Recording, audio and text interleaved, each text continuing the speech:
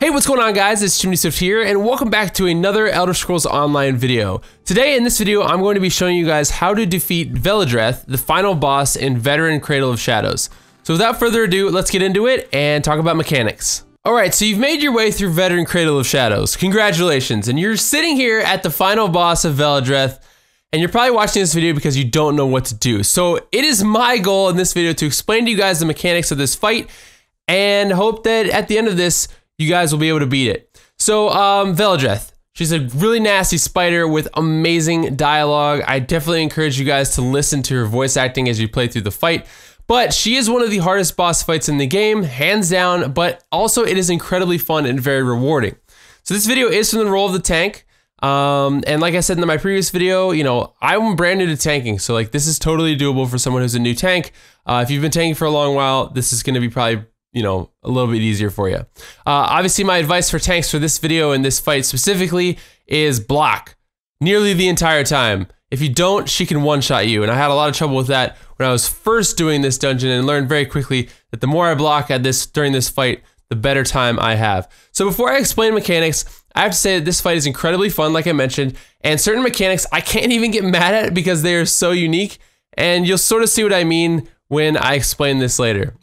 So, First stage is DPS. The minute you drop down into that arena, drop your ultimates at the very start. She has this mechanic where she sucks in one player, chosen at random, and drains their ultimate. Um, if your ultimate is like way over the cap, uh, and she drains it, you'll probably still have your ultimate. But if you're sitting like right at the threshold of your ultimate, she pulls you in, you're gonna lose it. So drop those ultis right at the beginning.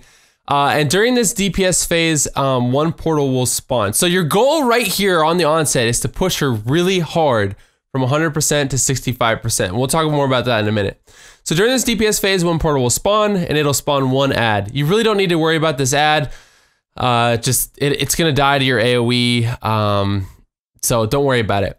Uh, after this, Venom Sacs will spawn in. These can be very dangerous as they drain your resources on impact. So these sacs come in three colors, green, blue, and red, and these are indicative of your stamina, magicka, and health.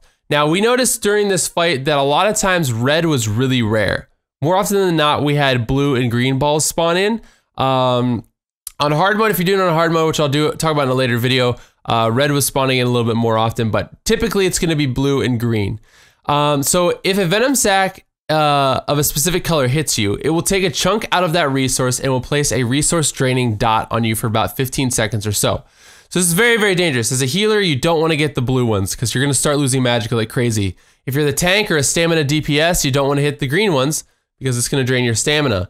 Uh, and then overall, you don't want to hit the red ones, obviously, because it's going to drain your health. So be very, very careful here. Uh, next, after that, two portals, and this is all happening very quickly. Um, two portals will spawn, releasing two flesh Atronachs. These need to be killed fast. The tank can just taunt them and bring them into the boss, and your group can AoE them down. Um, so kill these Atronachs, and once they're dead, uh, the Atronachs will be laying on the ground. And we found that it was better for both DPS to pick up the Atronachs lights. Um, this is extremely important, picking up these lights. Uh, if you fail to do this, the dungeon basically doubles or triples in difficulty. So as soon as those Atronachs die, you need to walk over to them, their lit arm, uh, and pick up their Atronach, their the Atronach light. So to pick up these lights, like I said, walk over to the glowing arm, uh, and use the Atronachs Light synergy. Uh, so we, like I said, we found it was best to have our two DPS pick up the lights, but it really doesn't matter. Either way, picking these up is essential. Um, we just really had our two DPS do it because they were better at navigating the labyrinth, and the healer could focus on healing when he was paired up with a guy. So you know, it just made it a little bit easier for us. Um, also in this phase, some somewhere during here, she will often tether two players together, much like the first fight in Veteran Fungal Grotto. You can just move away from the other person that's tethered so you break the beam. Or it's really not that hard. Um, next, you want to get Velidreth, like I said, to 65% health. You honestly want to push her from 100% to 65 uh, as fast as possible. The better your group's DPS, the easier this fight is. And that's pretty much goes without saying for every single fight in the game. Um, so if your group has really poor DPS, this is going to be very hard for you. Uh, if you don't get it to 65% fast enough, you'll likely hit a spike phase, but I'll explain that in a minute. So once you get to 65%, you will get what I call and refer to as the drop down phase. You drop into the ground and head into the labyrinth. And this happens after she says, I think we need some time apart. So listen for that cue when you're fighting her. So during this phase, this is the most important mechanic of the whole fight. During this phase, uh, you'll be broken up into two groups. So two of you will go to the North Labyrinth and two of you will go to the South Labyrinth. Um, if your group picked up both lights like you should have done, uh, one light carrier will be on the North Labyrinth and one will be on the South. Each person without a light will be with someone who has one. So you use this light to protect you from the shadows. In the labyrinth, you and your partner's goal is to find the open door so you can get back to Velidreth's Arena. Um, so there's sort of like a little bit of a puzzle, a little bit of a maze. You got to look at your map and figure out where you are. Uh, but your goal is to find the open door. Luckily, on uh, veteran normal mode, the chances of you finding your door are far greater than if you were playing on hard mode. Um, let's see. So uh, while inside the arena or uh, the labyrinth, you will need to move quickly as you will be chased by a gang of Hoarvors. The longer you're inside the labyrinth looking for your door, the faster they move. Um, so you know, slotting rapids down here helps helps to helps you get here through here faster. I personally use speed potions because I'm a DK tank and DKs don't have great mobility at all. So I use speed potions to help me move quickly and gain stamina back. So that's very very useful. Um, if they if the uh, Hoarvors do catch up to you, uh, they will likely kill you in a swarming horrific death. So the minute they bite you, they put a snare on you, and then that allows you to slow down, and all of them catch up and kill you. It's really really awful. Uh, so stay ahead of that that um, gang of Hoarvors, and if you have to double back, just make sure you avoid them. Um, there are also Nightblade enemies in the labyrinth that will ambush strike you and stun you, but you can just pop out of that, just um, you know, CC break out of that stun, and if they're standing in your light, you can just kill them really easily. So uh, kill them while you're moving and finding your door. A little tip, real quick, that I do want to mention: if you do get get uh, have to encounter a Hoarvor the Hoarvors, you can roll dodge through them, uh, but just be careful. I we our group says no to the Hoarvors, so we just try and avoid them if at all possible. So I wouldn't recommend um, intentionally encountering them or trying to double back and going through them. It's a horrible, horrible, horrible idea. Uh, so on your way to your your door, uh, after you've you know been encountering these night blades and uh, avoiding the Hoarvors, uh, on the way to your door you will encounter traps. But if you have the light, the bad traps will be red. So avoid the red traps and if you uh, because if you hit them, they will snare you and they will drain your stamina. Once you make your way back to the boss, uh, hopefully uh, both groups are you know getting back to the boss at roughly the same time. Uh, you'll need to drop down back into the arena to re-engage Velidreth. And then this stage is identical to the one before. Just push her as quickly as you can to 30% health. So for instance, if your group lacks DPS and is too slow in pushing her from 100% to 65%, or from 65% to 30%, you will likely get the spike phase. And this is honestly what kills most groups. Uh, you'll know you're entering the spike phase when you hear the boss say, Don't move a muscle, and she'll climb up into the rafters. At this point, nobody move. This is super essential. Stand freaking still, okay? Don't move at all. You can heal, you can buff up, you can regen, etc., but do not move left, right, front, or back. If you do, you'll get nearly one shot by a spike that's going to pop out of the ground right where you are, and it will put an insane heal debuff on you. It's going to really mess up your day, like severely. And this is honestly, I think, the part that most groups have trouble with. So listen to my tips, and I will get you through this. Uh, the trick here is to wait. Wait until the room changes from purple back to normal, and then the moment you see the earth beneath your feet begin to crack, roll dodge. It's a nerve wracking phase, but it's very simple. So to recap, as soon as she goes upstairs, stop moving, stand still, be patient, and look at your feet. That's literally what I do. The minute she climbs up there, I orient my camera so that I'm just staring directly at my feet. And I just wait. I just wait and wait and wait until the moment I see the earth start to crack. And the moment I hear that rumble and the earth is cracking, I roll dodge. Uh, if you don't do this, what's going to happen is, like I said, if you're moving around, she'll hit you with a first spike that's going to just destroy your health. It'll drop it to, if it doesn't one shot you, it'll definitely drop it to like 2, 5%, somewhere around there. Uh, and then the second spike that comes, if you don't roll dodge in time, will kill you. It will 100% kill you. That is a absolute one shot. Is the second spike. So roll dodging the moment you see that earth cracking below your feet, it will keep you alive. And I believe in our video clear here, we actually executed this perfectly. So you guys can see how it's done. Uh, and the last little mechanic you'll need to know about is if you ever need to, uh, need to res someone, and this is like where I can't even get mad because this is such an awesome mechanic. It is so unique to this game. I just think it's really, really cool. But if you ever have to res someone in your group, say somebody dies during the fight, The boss has a mechanic where she says something like, because she's hungry, she's starving, she's fat, she wants to eat you. And so her whole personality is about how she wants to eat you. And if you try and res somebody, she has a mechanic where she says something like, no, leave that one for me, it's mine. And she interrupts the person that's resing the dead. Now, the interesting part about this we found is that you can actually interrupt Velidreth from interrupting you. So if the tank is alive and they're on the boss and in, in, in, in her face, and you can see those red lines start to fly out of her as she's about to get ready to interrupt someone who's resing them, you can actually bash her and interrupt her. Uh, the only other thing, though, that you have to worry about is sometimes the ads around the arena will hit you with stuns and knockbacks as you're trying to res somebody. So it's really honestly best your best bet during this fight is to just not die. Follow these mechanics that I've laid out for you.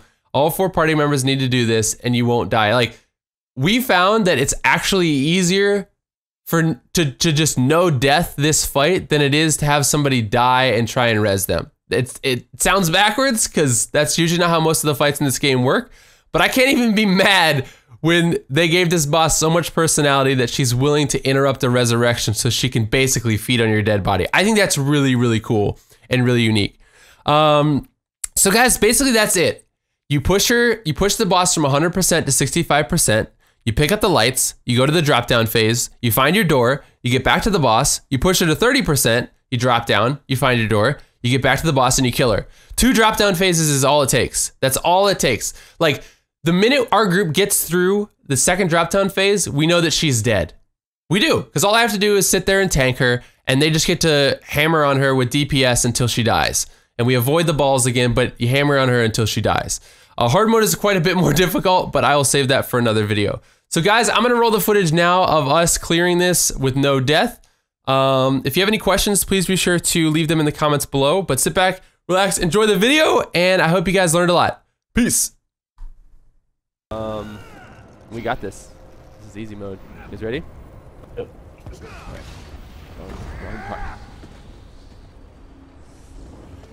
Come here, sweetie.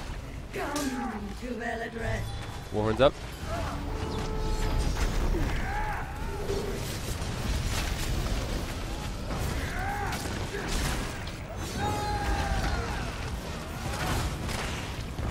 Alright, uh, the green balls are out. Careful. Uh, shards. Astronaut.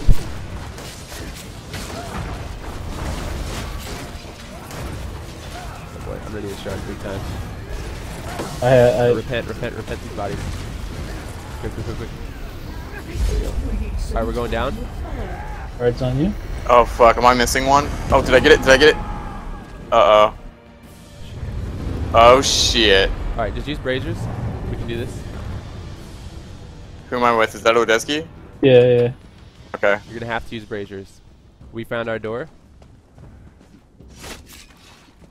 Holy we Find a door pretty quick. cute. Hopefully. Where are we going? Uh, we're gonna be taking a left up here.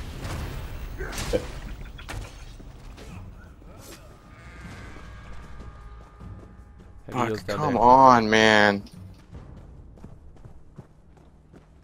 We found our door. Good job. We're at the we're at the uh the ledge, so we'll just wait until we see Hoarvors. We gotta go. We gotta go. Yep, yep, yep. Alright, there's a Stand. Hoarvor coming. We can kill him in the light though, we can kill him in the light. Alright, they're coming. We gotta drop. We gotta drop. Okay, we're almost there. Maybe I should shed some white. Heals, baby, heals. There we go. Alright, watch these green balls. Come on, guys. We need you. We need you. We're here, we're here, we're here. Good job. There's green balls out, so be careful when you drop. Shot on the boss. Push it hard to 30. Heals, heals, heals, Start on heals. top. You look good enough to eat. Thank you. Heals, Looking heals. to repent. Alright guys, get these astros down. We're gonna pick up these lights. I got pulled in by boss. Can't heal for a second. That's it. Don't move my Alright, stop moving, stop moving, stop moving, stop moving. Shoot. I'm popping Warhorn. We're tethered, so just hold still. Keep healing, keep healing. You ready? Roll, roll, roll. Good job. It, get it at 30. Get it at 30.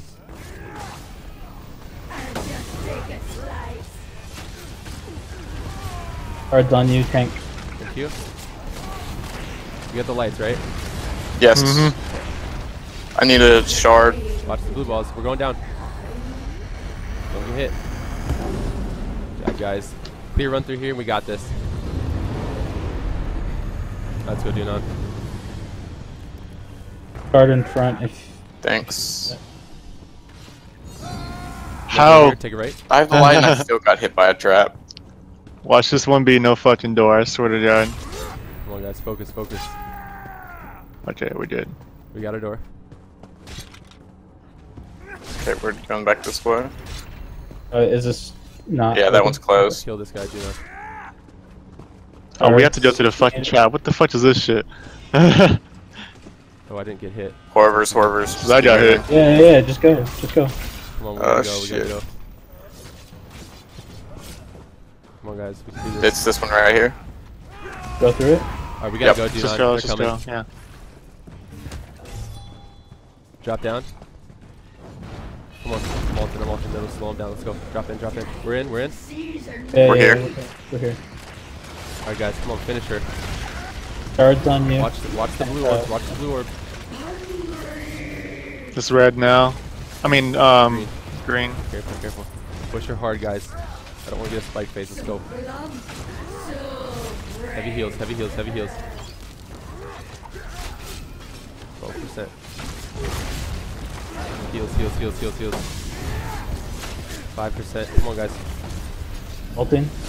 Some part ulting. So yeah, that's it guys. Uh, I really hope you enjoyed this video. If you did, please be sure to leave a like on it. Um, just a quick side note, today on Monday, August 8th, uh, there's a patch coming out and it looks like they've changed a few very minor things to Cradle of Shadows, thus resulting in this dungeon being nerfed, which I'm kind of unhappy about. One of which being the Atronach Light synergy will now persist if your character dies. Previously, if you picked up the Atronach's Light and you died, and then you got resurrected, you no longer have the light. I think that that was, I think that that was awesome because it punished your group for dying.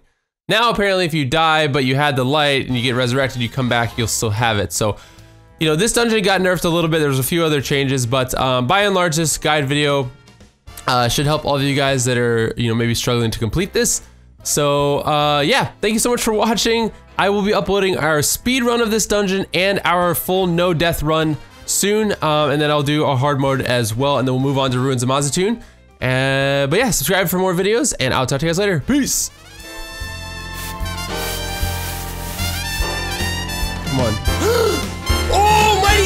Divines! Light, I'll take it! It's a, it's a, it's a it's a very tanky set, but I will take the light shoulder divines. That is a sick trait right now.